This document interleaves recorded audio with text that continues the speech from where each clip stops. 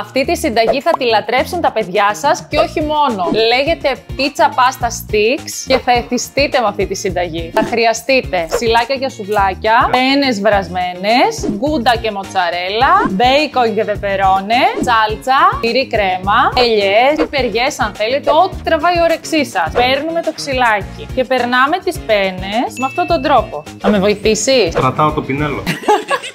Έτοιμο το πρώτο και συνεχίζουμε. Με το πινελάκι θα βάλουμε σάλτσα και στα άλλα δύο βάζω τυρί κρέμα. Τα δύο με τη σάλτσα θα βάλω γκούντα και εσύ βάλε εδώ μοτσαρέλα. Τέλεια. Τέλεια. Όπω, χαμός. Σε αυτά με τη σάλτσα θα βάλουμε πεπερώνε. Κάλα μπέικον. Θα βάλουμε και λίτσες. Αποστόλη, τα παίρνεις για ψήσιμο; Παίρνουμε για ψήσιμο. Ωραία. Έχουμε ψήσει για 10 λεπτά στον αέρα. 180. Πω, πω.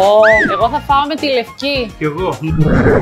Γράψτε μας στα σχόλια τι άλλη συνταγή θέλετε να σας κάνουμε; Δεν κάνουμε τίποτα.